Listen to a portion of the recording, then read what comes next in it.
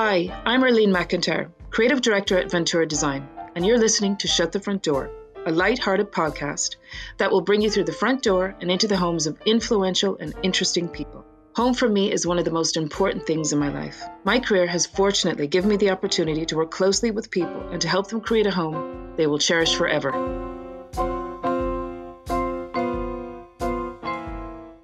John McColgan is a multi award winning producer and director who started his career in the mid 70s at RTE, going on to become its head of entertainment. He then went on to become head of weekend entertainment on TVAM in London. John is also the director of Riverdance, Heartbeat of Home, and numerous other stage and TV productions. With his wife and business partner, Moya Doherty, together with Bill Whelan, they created Riverdance, initially as an interval act at the 1994 Eurovision contest, and then just a year later, they had produced a full two hour show which they launched in Dublin. Riverdance went on to become the global Irish dance phenomenon that we all know, love, and are so proud of.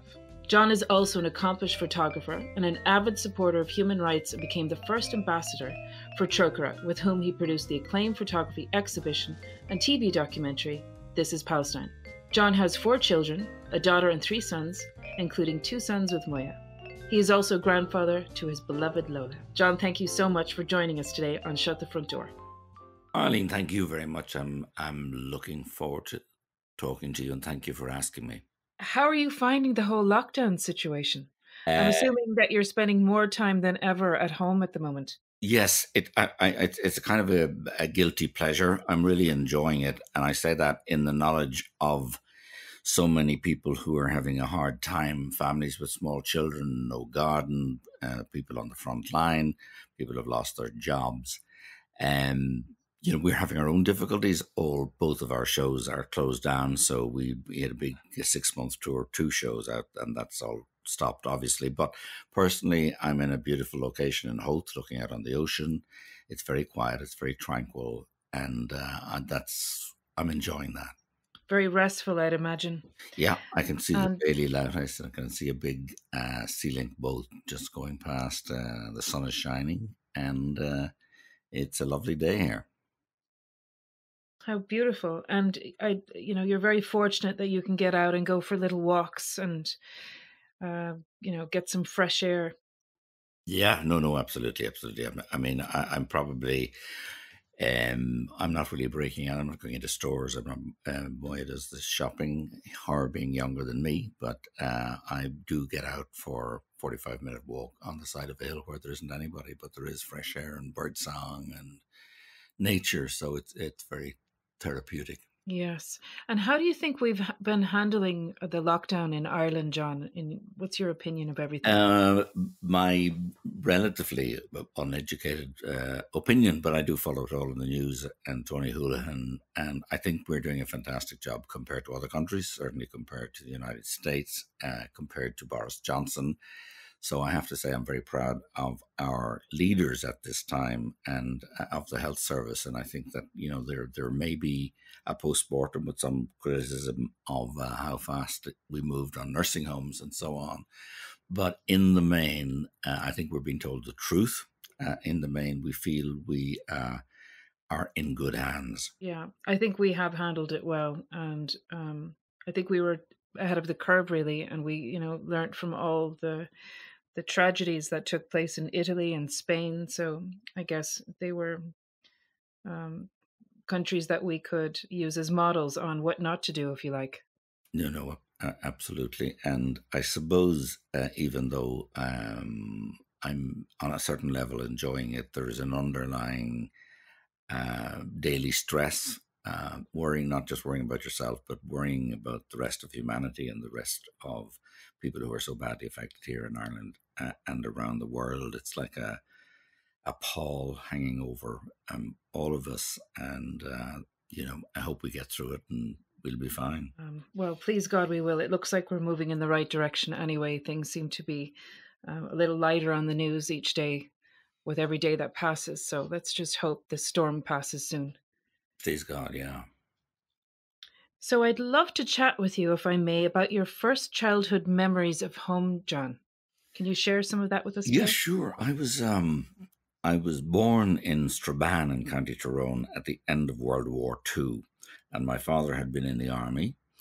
and um, he um, moved or got a job in in Ferns in a leather factory. And uh, year after year, uh, my mother had three kids. I was the eldest, so um, I was left behind in Strabane with my granny. And I lived in a road called Newtown, Kennedy, which is a road of terraced houses that looks a bit like Coronation Street. And that was the first sort of four years of my life were spent there. And I didn't really see my mother uh, until I was about four.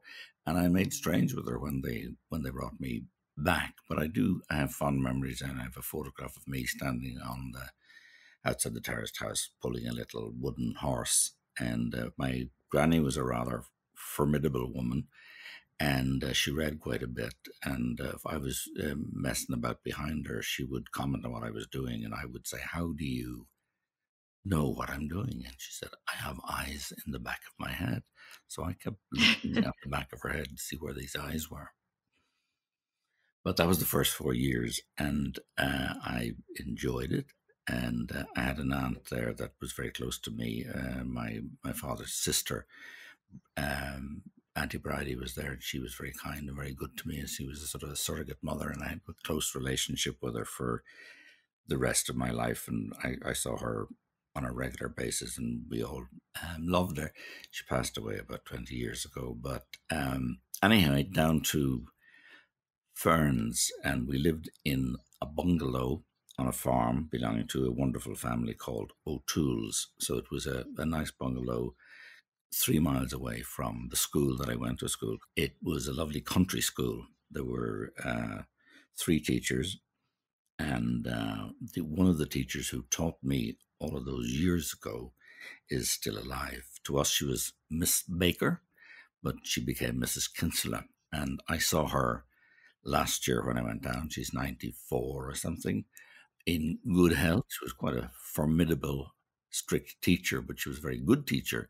And she was also our music teacher. So we had a choir that she had put together, and I sang in that choir. And we went into Enniscorthy to the cathedral, and we sang there. And she prepared us for our confirmation and so on. So it was a lovely school surrounded uh, by beautiful rolling hills, and you could hear all the agricultural activity, tractors and dogs barking, and uh, it. Uh, I really loved it, and I think it imbued in me um, living down there and all the experience of the seasons and seeing the seasons imbued in me a love of nature and the sons in the, uh, in the country, Patrick and Lewis, who unfortunately passed away, uh, were really good to me, and they took me out on the tractor and uh, they took me out at uh, night time when they were going out to look at the lambs with a Tilley lamp and those of you may not know what a Tilley lamp is, but it was a, a lamp that you put um, kerosene and you pumped it, and it gave off very strong light. So, um, season in, season out, I was involved with the farmers on in what they were doing. I earned my first money thinning turnips down on your knees with a hessian sack, going along a drill and taking out the the the turnips, and then Mrs. O'Toole an extraordinary woman who would come out at lunchtime with the big hessian sack again with the bottles of tea, quite often in Lucozade bottles with that stippled neck, and the tea would be have the sugar and the milk and everything mixed in, and then big doorstops of sandwiches. So you'd sit in the sunshine. I always thought it was sunny, and with the other working men, and you'd have your lunch in the hedge in the field. And I loved my teacher in school, a man called Mr. Lynch, and he was um, in charge of the Amateur Dramatic Society in Enniscorthy.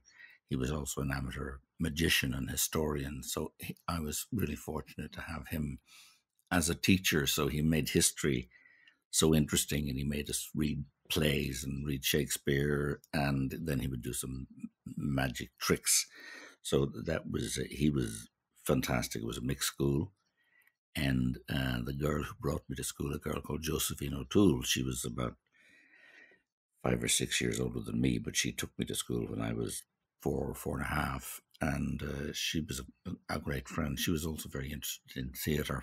And when she went to secondary school, she was one of the uh, leaders in the in the in Tullow in the musical society in in the school. So uh, the first show I ever saw live on stage was HMS Pinafore, and she was in that, and I was riveted and fascinated by that. So it, it probably was one of the first things that sparked my love of uh, of theatre and live performance. Yes, that was my next question. Actually, when did your passion for TV and stage begin? Well, I think it might have been. It certainly that contributed to it. The, the shows that I saw her performing in in Tullow National School, and there were my memory of it, it was to quite a high musical standard. And then there was uh, traveling players in Ireland at the time called the Fit Ups, and there were uh, a bunch of actors and musicians who toured parish halls in Ireland, and there was a little tin hall in Tombrack. Tombrack was uh, two pubs uh, a petrol station and a very small grocery station, and a, hall. And in that hall, there was a there were different groups of players, but I do remember uh, Paddy Dooley players, and uh, one of the Paddy Dooley players uh, was a woman called Annie Dalton, and she ended up in the Riordans. She was Minnie in the Riordans uh, years years later, but they were actors, and that was how they made a living at the time. They they went out and they put the, the set and the lighting whatever it was, in the back of a van or two vans, and they went, uh, stayed in guest houses, and they went up out around the country putting up posters and putting on plays and uh, variety. I remember the name of one of the plays was His Mother's Rosary. The other one was Kevin Barry, and they tended to be melodramatic. And uh, at that age, um, the melodrama I enjoyed enormously. And I think it was a combination of that. And then I loved movies. I didn't get to see that many, but sometimes my father would take me uh, on the bicycle into there was a cinema in Ferns, and um, seeing. I remember seeing movies in there. And Riverdance was such an incredible production, um, and no doubt a dream project for you, John. Can you share a little more with me on how that all began? My real preparation for that was then eventually um, started work in Dublin as a telegram boy, and uh, I, I, worked in factories and pubs and in uh, Saxons in O'Connell Street, Bests in O'Connell Street. But eventually, through a circuitous route, I ended up in RTE as a vision mixer when I was seventeen, and that was like amazing just to to to get in there, and I just loved it. And RTE was my university. I was a vision mixer. I was a cameraman for four years. I was a floor manager. Then I was a producer director. And then I was head of entertainment. So all of those years in RTE working on a huge range of uh, variety program, documentaries, drama. And I ate it up because, uh, as I said, this was my education and going into work with people who were fantastic, mature. To me, they were old people, but there were people who knew about theatre, knew about television, so um, I learned a lot, and that's where I learned uh, the, the stagecraft and the television craft. I think. And that led you to the your well, what I'd imagine was a dream project for you, which was Riverdance. Can you it share was. a little well, in, more in with me on to, that? To be, it was. It started with. Uh, uh, it started with my my wife. I think she had come to see a show that I had done in the National Concert Hall. It was called Mayo Five Thousand, and there were a lot of uh, artists on there but there were two artists. Uh, one was Michael Flatley and the other was Jean Butler, who were performing separately. And they were American and they were charismatic. And I had cast them because they were American and because they were charismatic. And we, I remember Moy and I talking about it afterwards, saying we must do something with them because they're quite special uh, on the history or the evolution of Irish dance. And uh, Fade to Black and Fade Up, about two months later, she was offered to produce the Eurovision Song Contest and uh, she decided that she would uh, get together with Flatley and Butler and do the version that everybody now knows that began the, the river dance that she put that together. And the choreographer was Mavis Ascott and Michael Flatley.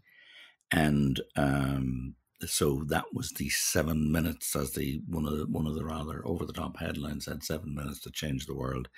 But it uh, I was Moy was backstage calling up the different countries from around the world uh, as they came in for voting, and uh, I was sitting out with the audience. And when Riverdance finished, there was about two seconds of absolute silence.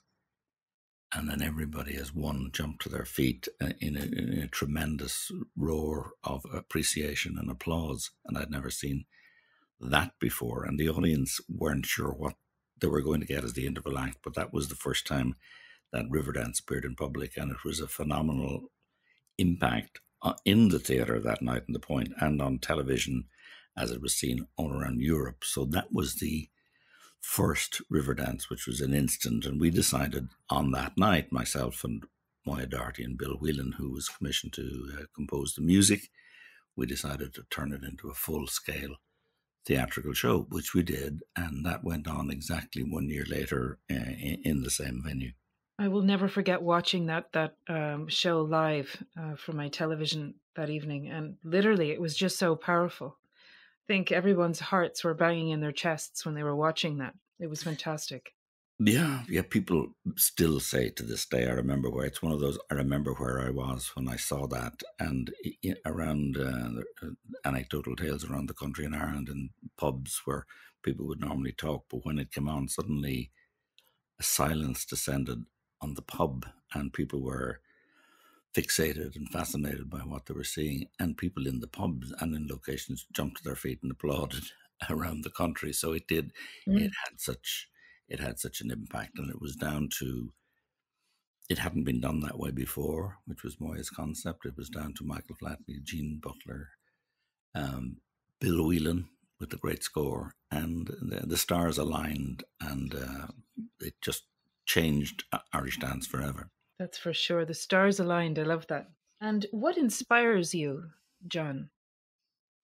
Um, I, I, I never consciously think about it very much, but when I'm asked, I suppose I love how fortunate I am to be in a business where um, every morning I get up, I look forward to going to work. I look forward to creating something or directing something that will make people excited or happy and um, to to be able to work with talented people, to be able to work with musicians and uh, dancers, and to feed off these young people who are now so they're athletes, they're so smart, they're so intelligent, they're so fit, they're fantastic to work with.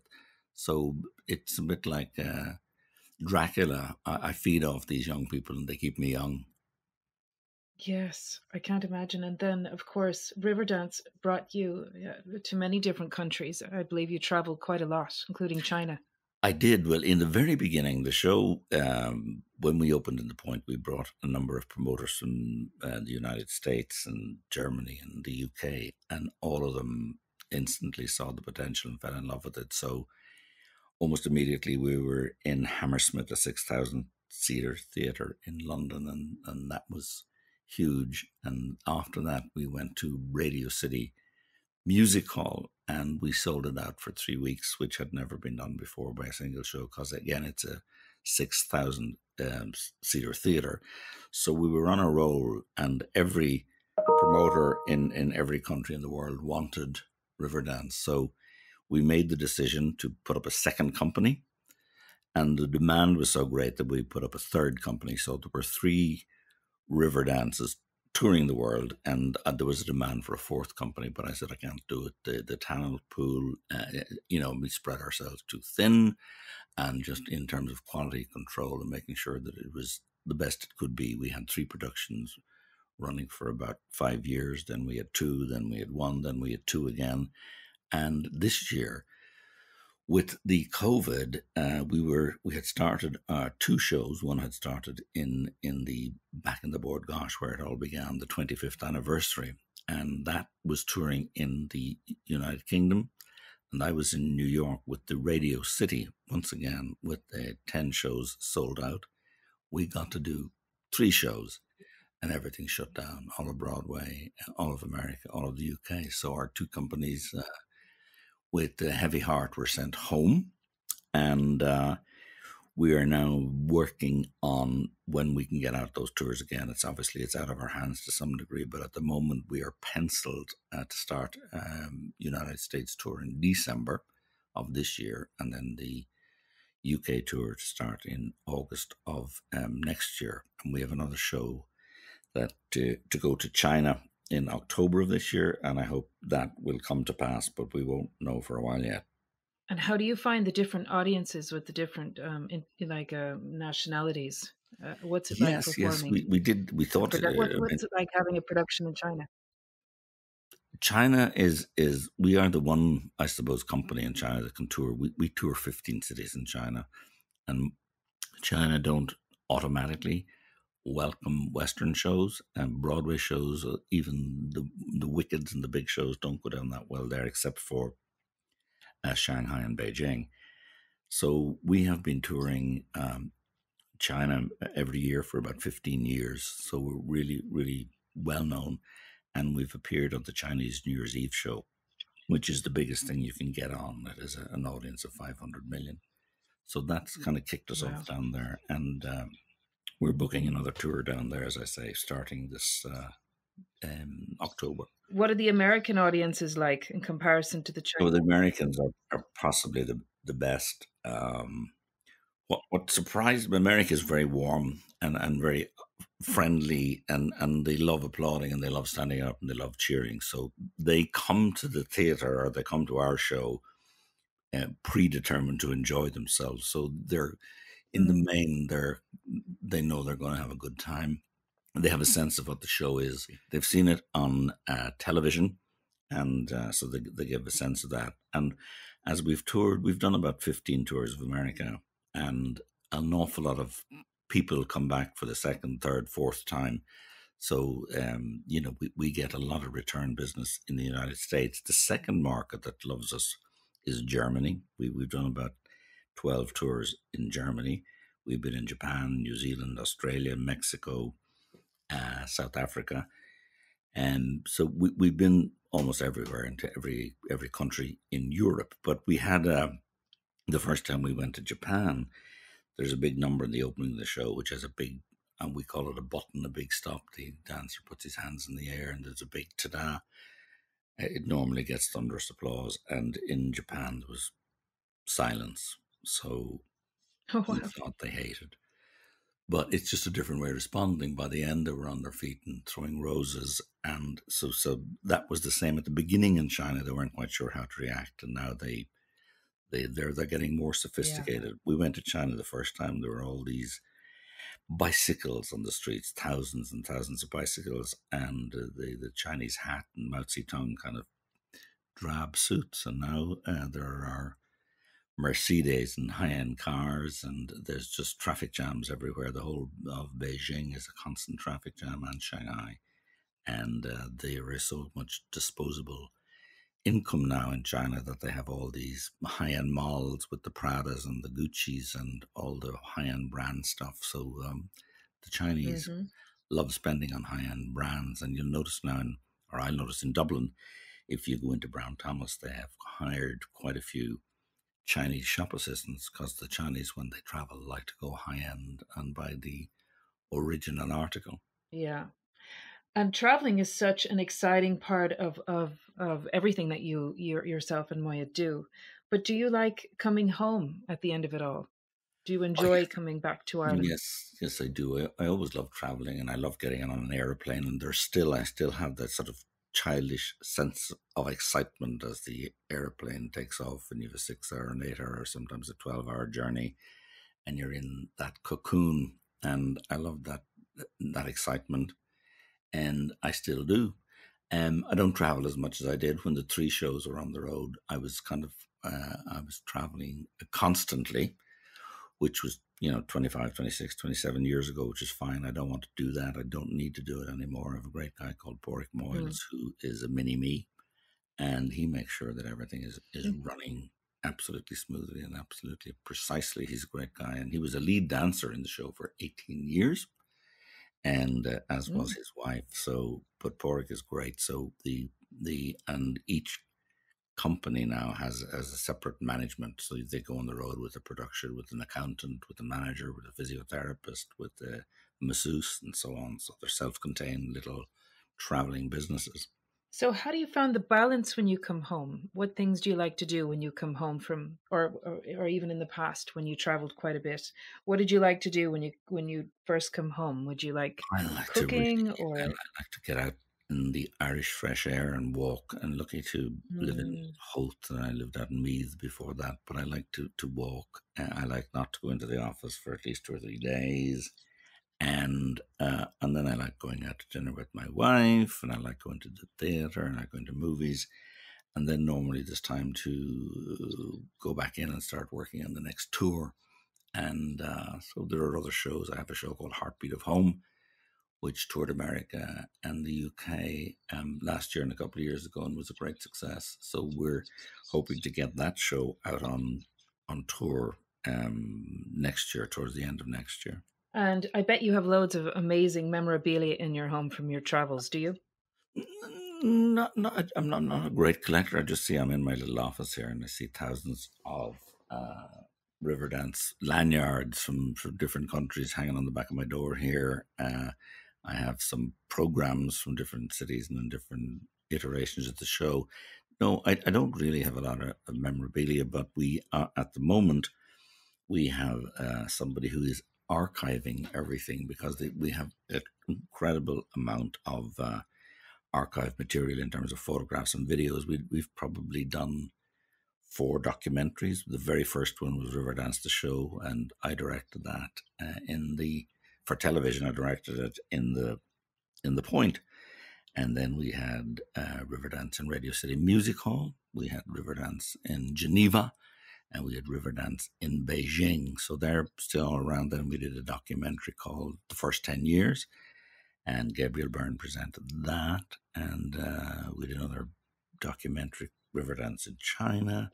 So we, we've an awful lot of material, and um, that's all been archived and logged so that uh, you know we can put it together. We have a documentary that we did with the BBC, uh, which is going out next Tuesday. We have a new dancer called uh, Amy May from uh, from County Tyrone, and I'm from Tyrone. So she came through the summer school, and she's a big head of red hair. She looks a bit like Jean Butler. So uh, she became a lead, and this is the story of choosing her to be the lead in the three arena, and it's behind the scenes, the journey to her uh, living her dream. It's called Living the Riverdance Dream, and that's going out next week. And there were another number of other documentaries. So we have a huge amount of uh, archival material.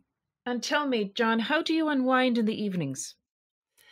I'm very fond of uh, Irish whiskey, and I'm very fond of red wine. And my wife's a great cook, so we would uh, have a nice dinner and drink some wine, and then might look at something on Netflix. Or so that would be a lot of the evenings, and then I like to read a lot. So that's how you both relax. Yeah, we sit, turn off the television and sit and talk and uh, about the day or about whatever's going on, and then we choose something to watch, and whether it's Curb Your Enthusiasm or Schitt's Creek or what else we were watching. We were watching Money Heist. We were watching uh, Unorthodox. So there's, there's some great great programs on on Netflix. Yeah, Unorthodox is very good. I just finished that actually the other night. It was very clever. Yeah, it's a very it's a very clever, based on a true story and uh, based on a book by the woman who went through that experience. And how does social media fit into your life? Um, social media. I don't handle it directly myself. I mean, I do. I am uh, Facebook. I, I follow what our guys are doing on Facebook. I occasionally post Facebook and Instagram, but only. But we have people who are in the office who are that's their job is posting on social media and communicating that way.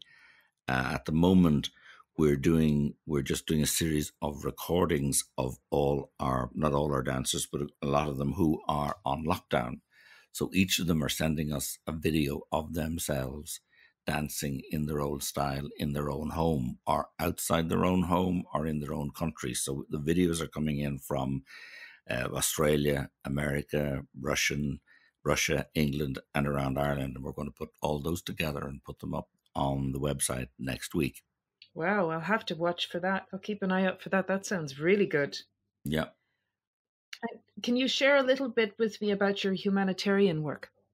Yeah, I, I, I, I uh, my my brother Jerry that I, I work with, he had uh, made a couple of documentaries for Trócaire over the years, and uh, I did a photographic exhibition. I take photographs as well, and I did one for the lifeboat here in Howth, and I did a series called uh, Howth Horizons. The horizon was at the same level in every picture, and it was it was sunrises and sunsets around uh, around Howth, and uh, I had a, had them printed up to a large size and raised about forty thousand for the lifeboat, and from that, Jared said to me, "Would you do something for Trócaire?" So we met and worked at met Trócaire, and they were very keen. So, and I was very keen to support them. They're a wonderful organisation, and uh, so my my first job or my first uh, expedition with them was to Palestine, Israel, and um, I presented the documentary. It was called "This Is Palestine." And I, I think it's still on the uh, Trócaire website and it's still on YouTube. But there was a huge, it's been viewed three quarters of a million times and uh, it's gone out on TG Ceathair three times, I think. So that was that. And then I went to Guatemala and Haiti, and I was planning this year to go to Malawi, and uh, that obviously is st- stood down. But I really like the Trócaire people. They're in 20 locations around the world. They do incredible work. They're well organized. Uh, they're very passionate about what they do. So I published a book then called We're Under the Same Moon which was a series of photographs that I'd taken in uh, Palestine and Israel. And uh, I had a photographic exhibition which toured Ireland and is um, going back to Belfast, I think, later this year. So, but that was, for me was doing something that I really love to do, and I, I got more from it than, than they got. So, um, and I helped them raise money. I've written letters to a lot of people, traveled with them to New York earlier this year, and got a whole lot of greater good in a room and got commitments from people in business to commit to a certain amount a year because it's really hard for charities and Trócaire included in that to fundraise at the moment. There's nobody, you know, it's hard to raise any money. John, would you describe yourself as a spiritual person? A spiritual, I suppose. I, I uh, am I. yes, I, I. I don't know whether I believe in God or not and um, I still like uh, Brendan Behan used to say, "I'll probably be a deathbed Catholic and return just in case to ensure take some insurance." Uh, but I, am nearly sure there isn't an afterlife, and uh, but again, I said I'll leave five percent of it for insurance purposes. There, uh, I believe in uh, humanity and kindness. And I think that you cannot walk through your life uh, uh, looking straight ahead, that you have to see the community around you. And if you can contribute and if you can help your brother or sister on the way, I think you have to do that. And uh, I try to do that. I work with another charity called CASA that works with people with uh, physical and intellectual disability and I've been working with, uh, with, them on and off for about 10 years. I went to Lourdes with them uh, um, about five years ago. So it's just on the basis, uh, if you can, and if you're fortunate enough to be able to support or help other people, I think you have to do something. Yes, totally. Definitely, especially now. I think more than ever, everyone just needs to come together now. Absolutely. Yeah. Yeah. But it's also it's i mean it, it, it, it's not saintly it's uplifting. I think you it's really for sure. good for anybody to do something. There's a good feeling and people appreciate it and you feel good in yourself that you're hopefully making a difference and making an effort. Yeah definitely. And what one piece in your home have you collected on your travels that would have you know a lot of sentimental value? Uh, there's almost almost nothing that I collected on my travels. Really, we do have a, a, a nice art collection. We have fantastic paintings.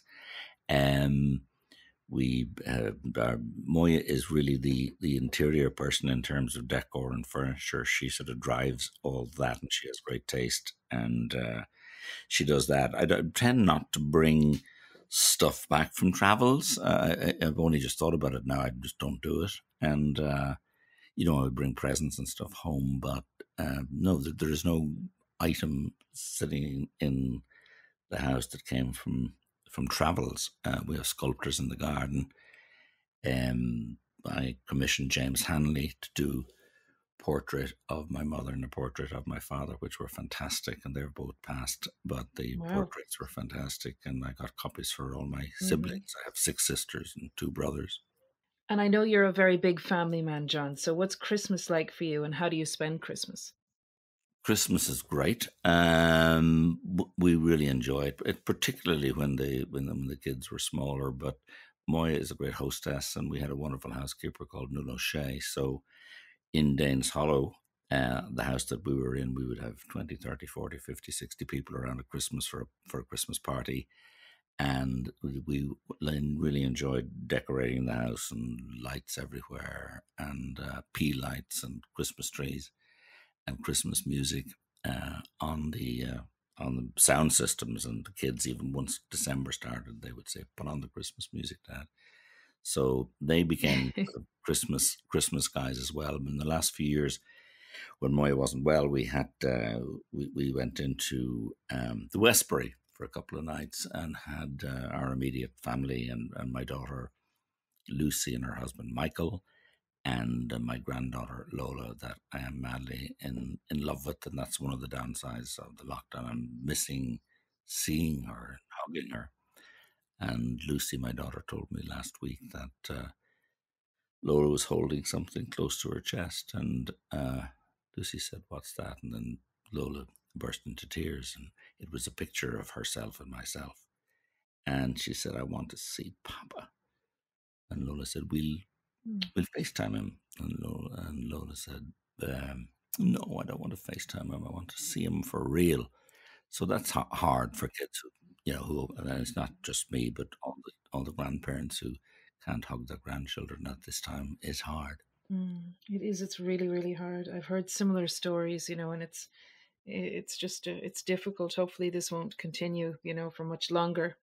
Um, I wonder what the new normal will hold for us all. Will we be allowed to give each other big hugs again? What do you think? Oh, I think so. I think the whole country will go mad. There'll be street parties and people will hug each other to death. permission, I'd say the country will go mad.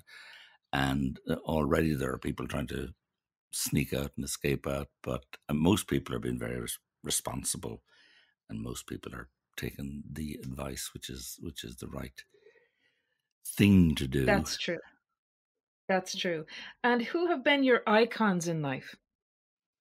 Um, icons in life. I suppose there's different ones. I suppose I, as a child, I was, you know, I was as a young man. I, Elvis Presley was my my big music uh, icon, and then I loved actors from Laurence Olivier to Richard Harris to Richard Burton to Vivien Leigh, Clark Gable. I loved the movies. I loved theater. I thought I was going to be an actor. I did some acting when I was in my teens, and uh, that was what I thought I wanted to do. I still think I might give it a try. It's not too late yet. I can play old men. it's never too late.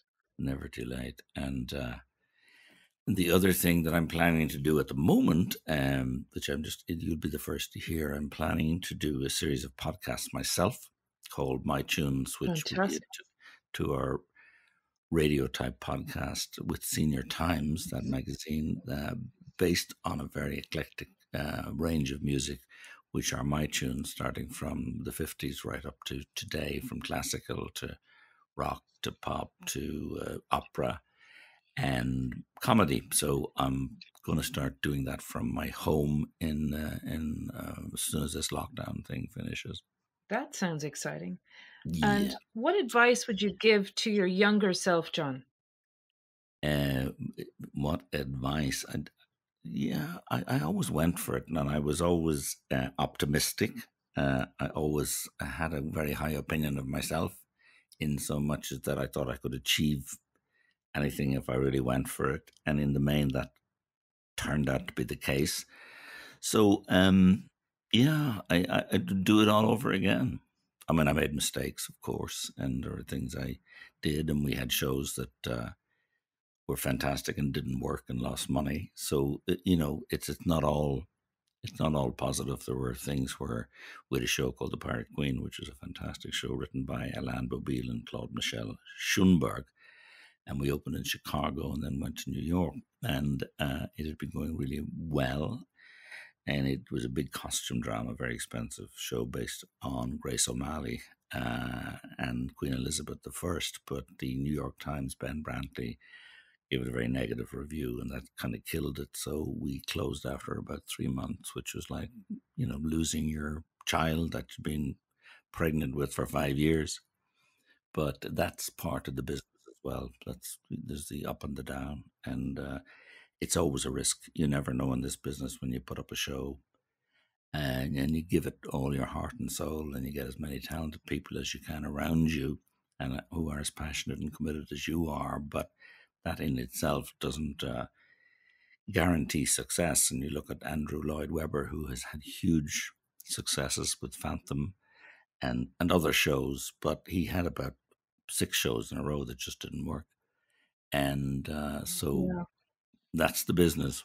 What, in your opinion, are the key ingredients to to success, especially in this business? What do you feel are those very important um, tools that you need to know and understand in order to make a real go at at show business well, and, and, my, and huge massive productions to try to understand the audience, uh, to not patronize the audience, to understand the audience, to understand what, in your view, excites them and gives them pleasure, and then to do it to the absolute best of your ability and never to settle for anything less, and then to try to put together the best people, the most creative people, the most passionate people, and when you all come together and you all believe in the same project, uh, there's an enormous buzz from that.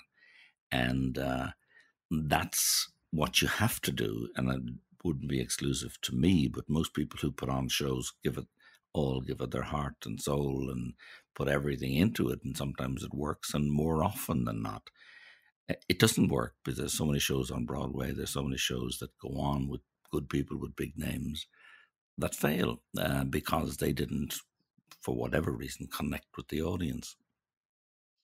Yeah, I remember you saying that to me once before. That understanding your your audience is really key.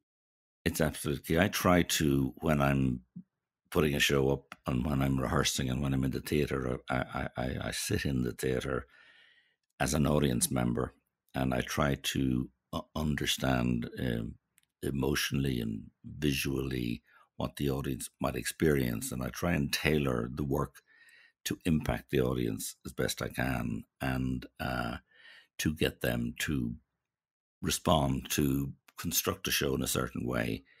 And that's years and years and years of experience where you can make drive people to their feet by how exciting the finale is and how exciting the end of part one is and so on. So some of it comes with uh, a lot of you know 30 years experience um but 40 years experience actually so you bring all your experience and all your love of the theater and your love of the audience and the craft that you understand and love and you bring that to bear on the project and then you just do the very best you can that's right. I remember reading something that John F. Kennedy said about the holding of the candle, you know, is often the most exciting part of any project. You know, it's it's that whole creative process, everything in between, you know?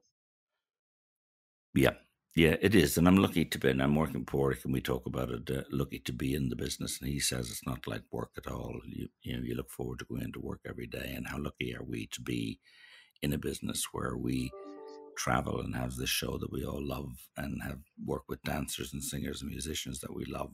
And what a great business. What a great business. And what do you think is the first thing you're going to do when the pandemic is finally over? Uh, I'm probably going to go down to King Sitric in Howth with my wife and have a lovely sole on the bone with some nice um, red wines, my one of my favorite fish restaurants. And then I'm going to hug my granddaughter and hug my family and my brothers and sisters and my sons, Mark and Danny, and my daughter Lucy, my other son Justin, is in California uh, near Newport Beach. But I'm looking forward to seeing them and kissing them and hugging them and touching them. So that would be a great excitement and something to really look forward to. And now I'm going to ask you a few quick fire questions, John, Okay. which are just a, a little bit of it's a separate segment to it all. So are you ready? Yes, I'm ready. Okay. Sweet or savory?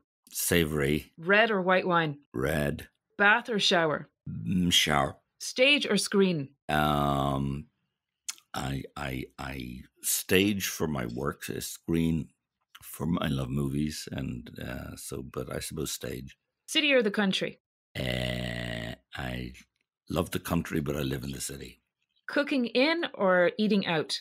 I think you have to do both to enjoy them. My wife's a great cook, so we cook in quite a bit, and then we enjoy going to really nice restaurants for dinner. So it's a mix. Vacations or staycations? Uh, again, it would have to be both. I wouldn't say one or the other. Uh, I think probably after this we won't travel for a while, but we I'm looking forward to. Uh, we had planned a trip up along the Wild Atlantic Way, going uh, and staying in in B and B's. And we were really looking forward and taking our bicycles. So at my age, uh, I have now a fabulous electric bike, which means that it's not quite as punishing when you're traveling the country roads and going up the hills. So I love my electric bike. Broadway or the West End? Um, they are two sides of the same pain, but the, the West End is is easier to work. Broadway is very tough, very hard, very unionized, um, and uh, very expensive. So, you know, you could um, you lose between three and ten million there very quickly. And my final question Donald Trump or Boris Johnson? Uh, Barack Obama. You have such a lovely, soothing voice, John, and you're a wonderful storyteller. And thank you so much for chatting with me today. Oh, thank you, Arlene. I hope it uh, it lift, lived up to your expectations in any event, and thank you for talking. it did. Thank you and stay safe. Thank you very much. Thank you. Thank you. Thank you.